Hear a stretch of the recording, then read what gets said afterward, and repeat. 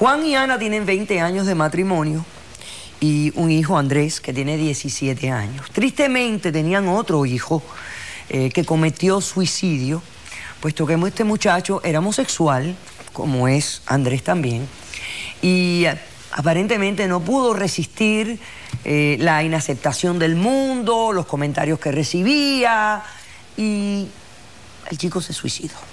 Juan hoy está aquí, quiere el divorcio y la custodia de su hijo, porque él ha descubierto que Ana eh, está entrenando al hijo para que cuando lo ofendan verbalmente o lo discriminen verbalmente, él responda con armas de fuego.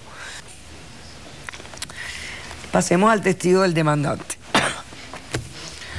Yo, hijo, te digo a ti que aquí no hace falta las armas de fuego para nada el que te diga una palabra despectiva sobre tu orientación sexual, usted lo único que le dice es su opinión. Yo no voy a señor, como mi hermano. usted no va a terminar como su hermano. Tu hermano tenía una enfermedad mental. Pero por eso. tiene que pero tú tienes una enfermedad mental. No, no. O sea, Entonces, ¿por qué me dice que vas a terminar como tu hermano? Porque él fue por la Son dos cosas diferentes. Tu hermano tenía una enfermedad mental. Por las humillaciones fue que terminó así. No, señor. él no terminó así por las humillaciones. Mi madre lo que quiere es... ¿Cómo tiene la gente hoy en día, yo me vuelvo loca. ¿Cómo es tu nombre? Buenas tardes, doctora. Yo me llamo David. David. ¿Y tú quién eres en relación a estas personas? Ok, mire, yo era el mejor amigo de Juan. Juan era mi mejor amigo, era como mi hermano. el, hermano que se suicidó. Sí, él y yo hacíamos todo juntos, estábamos en mi casa siempre, jugábamos todo. Un cierto día yo iba caminando por el parque y me lo encontré y estaba él llorando. Yo me acerqué y le dije, ¿qué, qué pasaba? Él me dijo que, que, estaba harto. Y yo le dije, que, ¿de qué estaba harto? Él me dijo que, que él podía soportar todo, que le gritaran, que le dijeran, que lo humillaran, que le dijeran que era que todo ella puede soportar. Le digo. Lo que él odiaba y estaba harto era que su madre todas las mañanas le decía que era marido. que por qué no se defendía. Señora, usted sabe que es la verdad. Usted sabe que es la verdad. No, eres un mentiroso. Señora, por favor, por favor, señora. Esa es la verdad. Esa es la única verdad. De que estaba harto era la madre. Claro, él estaba harto. Incluso él me dijo que él pensaba suicidarse. ¿Tú entiendes? Él me dijo que, estaba, que pensaba suicidarse. yo le dije que esa no era la respuesta a sus problemas. Por favor, por favor. Yo le dije que esa no era la respuesta a sus problemas. Yo estaba hablando con él y le dije que por qué quería hacer eso. Yo estuve diciéndole que, que no era la solución. Él se fue a su casa y dos días después yo lo fui a buscar. Llegué y realmente sí se suicidó y... Doctora, yo, le dije que Vamos a invitar a la sala a la doctora Madeline Hernández, psicóloga, y al detective Frank Peñate. Perdónenme, señores, hoy tengo una gripa tan mala que estoy aquí haciendo de tripas corazón. Buenas, Buenas tardes, doctora. Buenas. Ok. Eh,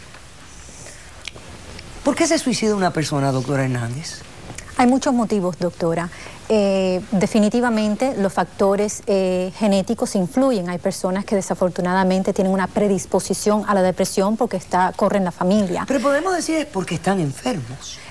Porque están enfermos, se puede decir. Puede causar una persona... Él está bajo la impresión de que su hermano se, se suicida por las ofensas y humillaciones que, le hacían otros por su orientación sexual. No necesariamente. Sabemos que puede haber una predisposición a la depresión. Ahora, si hay factores ambientales que pueden contribuir a que una persona cometa suicidio, por ejemplo, el abuso verbal, no solamente de las amistades, pero sino también de la familia, un ambiente familiar hostil, cuando la persona se siente que no tiene el apoyo de sus padres, doctora. Esos son factores que también pueden Pueden precipitar definitivamente. El, ok. Ahora bien, doctora, una madre que como esta em, e, e, está tratando de, o sea, le da armas de fuego a este muchacho, porque él también es homosexual. Y cuando lo ofenden, su manera de, de, para él defenderse es utilizando armas de fuego. ¿Qué nos dice eso del estado mental de esta señora?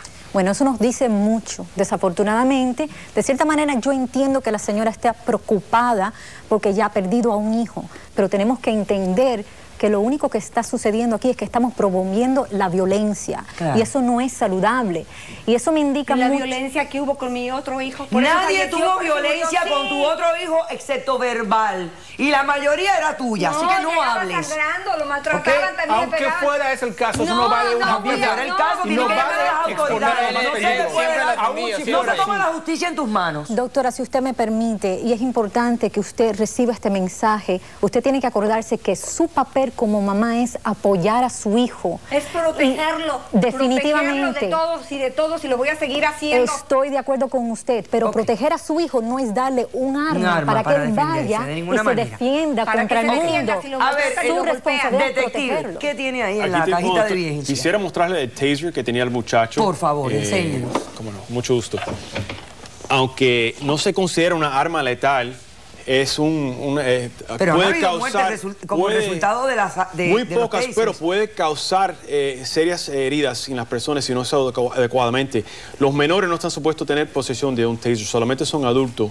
Y darle a un menor esta arma es un delito en eso mismo. O sea que la señora ha violado la ley. Así es doctora. Yo nada más se lo digo y hay causa probable para detenerla. Sin duda ninguna doctora por sus propias palabras. Muy bien ella lo confesó. Así es. No sí, no me importa que se defienda. No quiero que le Decisión pase del caso. Le concedo la demanda en su totalidad. Más allá, voy a también a imponer una orden de alejamiento para que la señora no, se pueda acercar al hijo, porque considero que lo corrompe de una manera. Y además quiero también que ella reciba una evaluación psiquiátrica y psicológica, porque... No, no puede ser, es mi hijo. Solo me quiere defender, ella me quiere cuidar. Escúchame, lo que tu mamá te está enseñando, vas a terminar preso, muerto o en un manicomio. Esa es mi decisión. He dicho, caso cerrado. Sea cortés, ande con cuidado, edúquese lo más que pueda, respete para que lo respeten y que Dios nos ampara, que falta que nos hace, señores.